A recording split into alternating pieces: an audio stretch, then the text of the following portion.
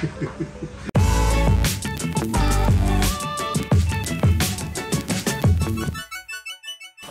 ー、こんにちは。えっ、と今日はですね、盆栽、えー、Q さんじゃねえや。盆栽世界さんとのコラボの第 4, 4弾なんですかね。えー、3か4かどっちか。3回4回あ1回抜けてるから、第4回コラボとい。うことでと4月号が、えー、と盆栽の増やし方ってい。うい。やい。や5月号ですあ5月号かあ5月さすがに5月号か、はい、5月号が盆栽の増やし方とい。うことで、はい。まあこの時期だと,、えーとまあ、種を植えるには遅い。し、うんまあ取り木はちょっと早い。しとい。うことで挿し木をしようとい。うことだったんですけど実はね随所が挿し木ができるとはい。いうことがあってですね、まあ、それ面白いねって話になりましてで随所でさせる、まあ、どこにあるかなっていう話をした時に最近一緒に活動してます。椎木さん。活動してます。してないか？してないか？勝手に、はい。えっ、と椎木さんとですねそれからあ以前あとお邪魔したんですけども、えー、と青柳さん。青柳さん。えー、青柳さん。青柳さんとこ前お邪魔しましてこのあの随所をね、えーお持ちだということでじゃあその目をいただこうということで今日それが実現しましてですね。うんなるほど。はい。じゃ1年前に土浦地区支部の会に入った時に、青柳さんから声をかけていただいて18歳でやってることに感動したってことで、はい。もうそこからの付き合いですね。付き合いですはい、いあろい。ろ土浦支部と,、はい。えー、と随所会えでしょうかいですね。はい。そうです。はい。入られてるというなるほどもう随所のことなら青柳さんに全部聞けばもう分かりますね、ちょっと木を。えそうですね。木をぜひ、え樹齢で、えー昭和31年に昭和30刺されたものですね。式です。ですから今年で8歳ぐらい、68歳。はい、これは佐一さんの手差し3番子ですね。3番号。はい。んでこれの兄さんっていうのは龍鳳の親木の直感です。相模はい。屋相模宮司でその一番長男坊が武蔵っていう岩崎大蔵さんが持たれてた国風賞の木ですね、なるほど。え3個下の弟になりますこれは名前ついてたんじゃなかったですか、これは名前が沖縄と言います。沖縄ちゃん。はい。大きなちゃん。はい。沖縄ちゃん木にねお名前をつけるんですよ。はいいろいろ名前をつけるのが好きで、は他ありましたよね面白いい、海老蔵やら團十郎やらたくさんあります。はい。その他大きな恵み？いやいや普通のの方じゃなくて。はい。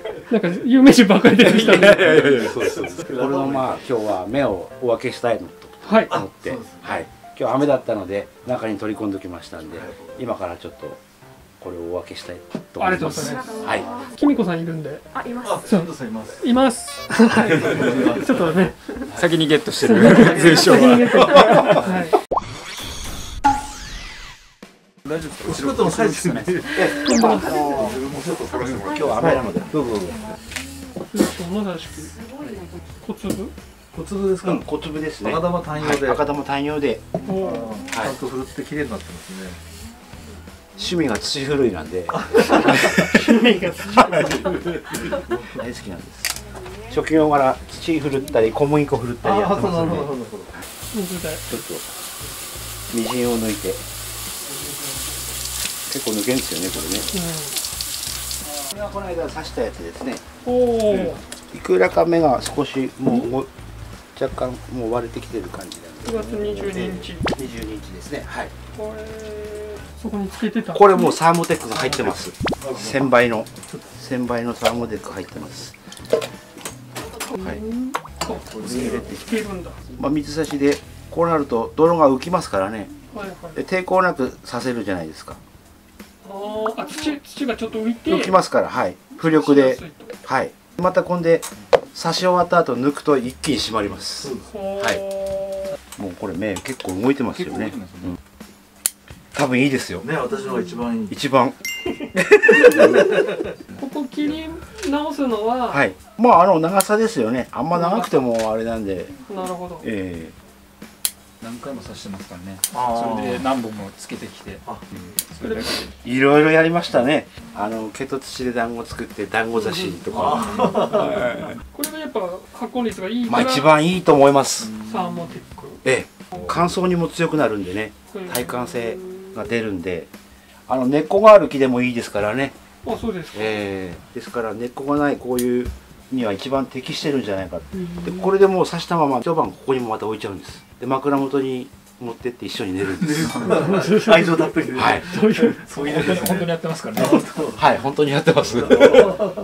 シュネデールとかでもいいんですかねない人ではは勝つ勝つ。うん。やらないよりは。いやそうそうそう。そうですそうです。いろいろやりましたけどまあ一番なんかいいいいのかなと思いますけど。うん。発酵も促進するんですよね。そうですねそうですね。でまあうん。その前にもう目もやられないじゃないですか。あしちゃったんですけど後からかけても効果ありそうです動物漬けしとけばいいんじゃないですかね。乾いた時につけてあとでで吸わし1日2日吸わしちゃってくるのもいいと思います。もうこのまま刺してうん。あとはもう発根祈願ですね本当に。お祈りです。えでまああんまり火に見せ火を見せないで日陰で、ー日陰のええ木陰で管理してますけど。本率どのぐらいなんですか？まあ自分1割と思ってます。1割？はい。1割つけばいいと、ねはい。ただこれやるともっといいよ。まあ時期もいいんでもうちょっといくかも。はい。いっちゃうんじゃないかなと思いますけど。で刺していきますねこう。はいもうそのまま手でピンセットとかは使わない使わないです。そのまま。はいもうでも水につけてるから土が動いて避けていく感じねがしますね。ほとんど抵抗なくさっと入っていくんで、うん。はい。あの時間もかかんないですよねこれでやるやられると。やるときはもう1000本ぐらいずつ刺してましたから、あのここに船ではいはい。はいは尺5 3杯入れていへー。抱えながら刺してました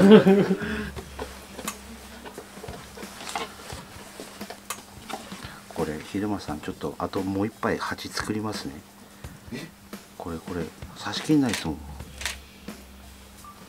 もう目がねピカーッと膨らんできていやこれ綺麗だな。だからこの挿し木をしてさ鉢を見てるだけでも 綺麗ですよ。うん。はい。なんかでも美しいですよね。そうですそうです。ずっこの茶と色と緑の。挿した鉢を眺めてられる。枕元に見てるとね眺めてると本当に水悪かったら大変なことになる。あそうです。それだけ気をつけてください。これであのーはい。こう抜くともう閉まっちゃうんです。閉まっちゃうんですね。はい。はい。で通常これで日陰で管理なんですけど、まあ、できればお家行ってこう一晩吸わしちゃってください。なんか活性剤的なものを。あはい。このままつけたまま一晩でも。そうですそうです。あこのままはい。そうするともっともっと目先が割れてきますんであそうするともう吸い上げてるってことですよね。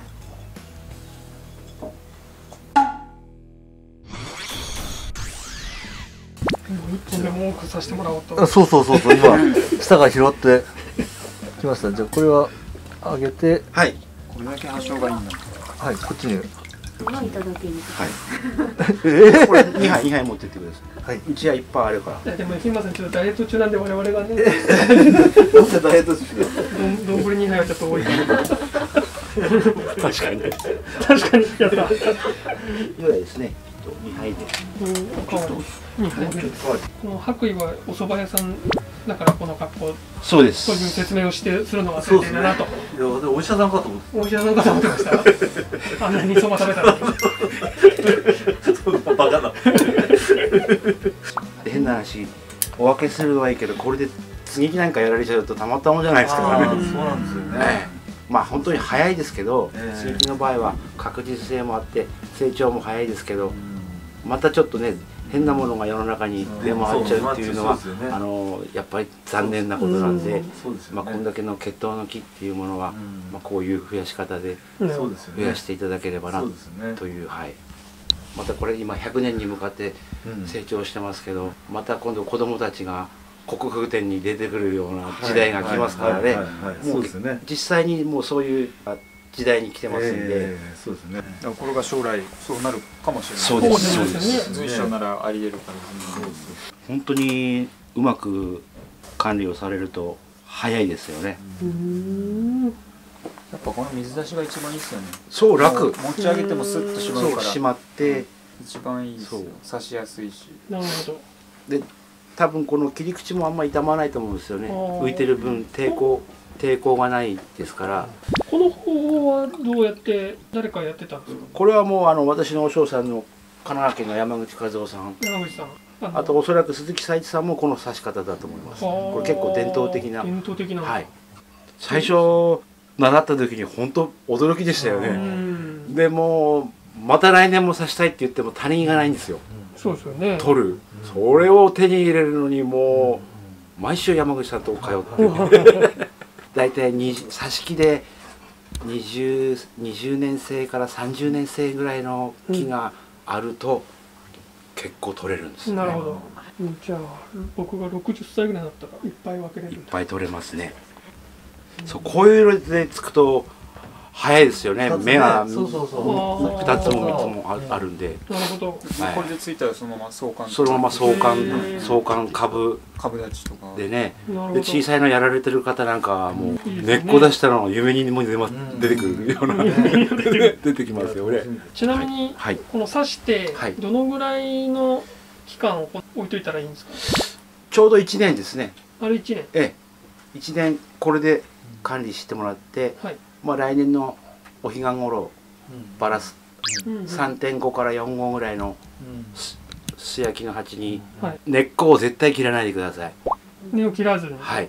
通常木根を切って入れるっていうのはありますけど随所の場合それやっちゃうとペシャーってなっちゃいますんで、うん。ある根っこは必ず巻き入れてうん。なるほど。はい。鉢ばらした時の、うん。まあ、コツですね。はい。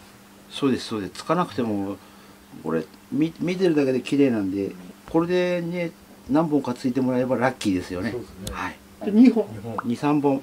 23本はい。枝分かれてるやつがね。そうです名ね前つけちゃったね。何ですか？青青青青柳さんの自分の青可愛 くない。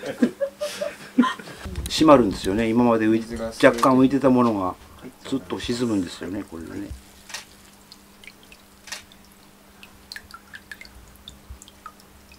ついてくれるといいな。発根祈願です。気持ちがめっちゃわかる。そうなんですそうなんです。でこれ枯れたやつなんですけど。ああこれ枯れたやつ。はい。あ根が出てはい。夏ちょっとおうまく乗り切れなかったっていう。これこっから根っこ出てんですね。はい。はいはいはい。春に刺して夏にばらしちゃったんですよ。うんうん。あのちょっとちょっとスケベ根性出しちゃって。は早く。これで今頃まで1年置いといてうん。ばらせばこんなことにならなかった。でこれもうほぼほぼ八方粘りってなかなかないんですよ。もうこれ取れちゃったんですけど八方粘りですよね本当にね。これを使ってこんな根っこが出たんです。サーモテックで。なるほど。で通常ですとこのもう取っちゃいますけどポンから2本ぐらいなんですよ随所って根っこが。うんうんで昔教わったのはここで植えたくなりますよね普通。うんはいはい。それをこの曲を生かすのに根っこを出して植えるんです。ははい。いそうするとそれ1年後の植え替えで。うん。ばらした時にばらす時に。はい。そうするとここに一曲できるんうん。で将来なるほど。はい。木作りの時に曲を生かせるっていう。なるほど。はい。で根も太るってことですよね。でもこれは結構こここの、まあ、デリケートなので今もうそれをやらずにもうここで植えてるんです私は、うんうんそうするとその後の培養もいいのでうん。なるほど勇気のある人はやって。勇気ある人はうん。あのここでやって。絶対消えないですもんね。そうのここはもう一曲。うん。こういう気になっちゃうとどこが一曲だかわかんないですけどねもうね。針金でとかはあんまやんないんやりますけどうん。これですともう自然の曲があるからあるからそれを生かす。生かすという。でそういうでかい木いっぱいありますよね。うん。あの長い根こんなに出しちゃって植える人もいるいるほうほう。で棒で縛っといて。そうするとやっぱこんだけ根っこだ出されちゃってるから育成も悪いですよね。うん。だからやっぱもとももともとここから出せばここから植えてあげれば安全。安全だなっていう、まあ昼間さんは全部曲で。全部怖いですね。でも昼間さん後から曲げられちゃうじゃん。すぐすぐ曲げちゃうから大丈夫。です飲み込まれちゃうかもしれないだからねこれこのぐらいでこういうふうに植えて45年伸ばせばうんもう畳み込むサイズじゃないですか、そうですね。えー楽しいと思います。やっぱ白衣だからか博士に見えてきますね。どうぞはい楽しんでやってください、はい。はい、よいしょではこれお土産にどうぞ。ありがとうございます。や遅くなっちゃってすいません。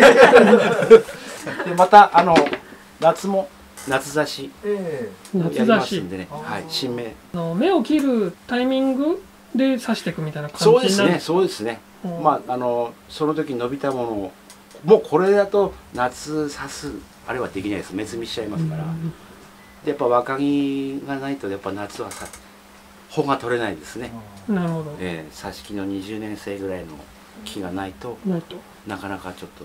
終盤間近ですけど、はい。今更ですけど随賞とはどういう木かっていう？ああ本当魅に力というかね。まあ極小の五葉松だなと、うん。え波長がいいー、波長もよく、ね。成長もいいと。で太りも早ければある程度の、ね、年数が来ると肌荒れもすごいと思うんですね、はいはい。今68歳ぐらい？ん？忘れちゃった。うん6ぐらいですよね、ですからこれあと2 3 0年したらとんでもないものになっちゃうんじゃないかと、こうな挿し木がね66はい、年でこんなうこうなるっていうのはねすごいすごいですよね。しかもさっきあの向こうで話聞いたのがこれに一目惚れしてええ。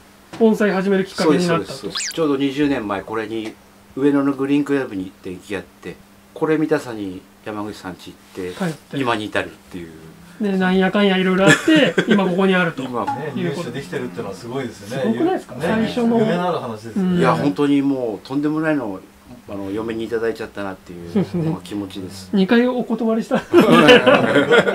さすがにねもう車に住んじゃいなって言うんで。なるほど。えいやでもいい。今日ねこうして。そう山さんそうとももらえるから。ね。我々ももらえるわけですから。なおさらやっぱこういうふうに広めないとバチが当たっちゃうんで、ん。なるほど。はい。ねこうやって刺すとあのね、分身でね、うん。あの随賞のねそれを青柳さんも言ってましたけど、鈴木太一さんとかそう。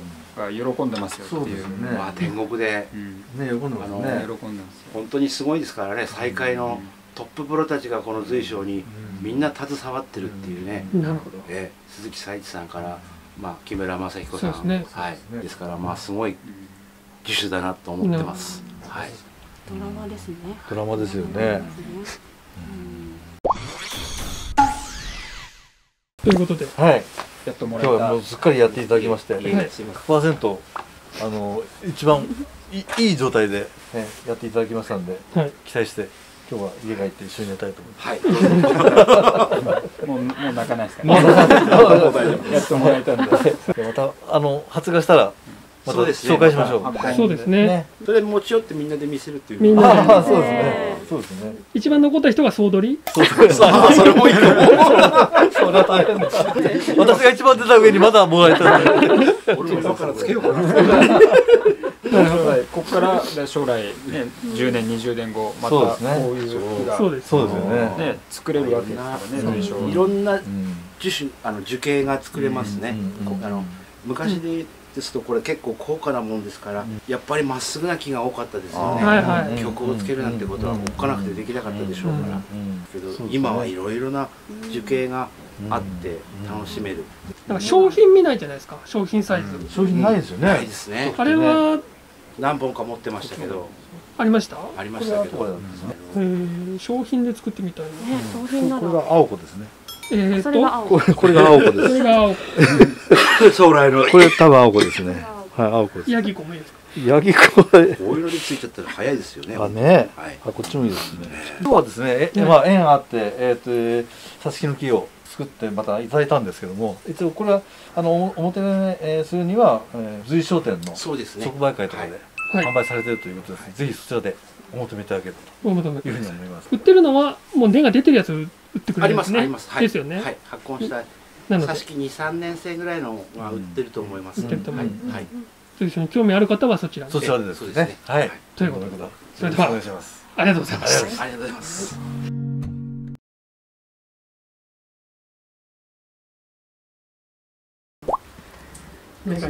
ここがちょっとふわっぶわってちょっと開いてくる。緑のところが。いやなんかこう割れてくる感じ？それ今刺してるんですはい。これはまだ硬いじゃないですか。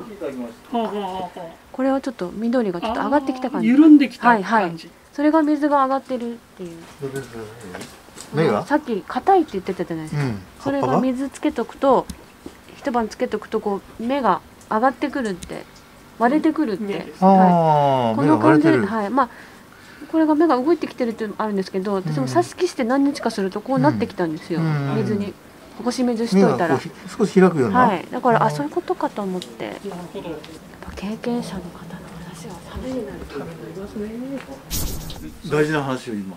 ええちょっと。太一さんが11本刺したうちの9 9本本だっけ？ついたんですそうだね。そうだそうだ。そうだ。さすがもう勉強されて教えてくれてるから。太一さんが11本刺したうちの9本ついて、はい。そのうち現存するのが今一本。一武蔵でしょうあねええその9本の中には他にもいろいろあったんでしょうけどねまあどこに行ったのか、うん。でこの木は祖母からの 3, 三三番番目のねはい。刺した。2番目が相模でその後っていうのは4番子5番子っていうのは、はなかなかこう分かりづらくなっちゃったそうですね、うん。育成が木によって違いますから発根してからの大体明確なのが3番子ぐらいまでなのは明確だこそうです。の辺まで、んはい、あはい、随所も今世の中にいっぱいあるけどあの接ぎ木をした随所とかもあるんで、うんうんそうするといろんなものがこう混じりそうですね。入っちゃってるんでもですからうこれはねやっぱり初心証明柵がの、乗ってるとまあ歯がよれたりね癖が出る、タイプも癖とか。あります、うん。はい。もう貴重な血統の木ですもんねそうですね。うん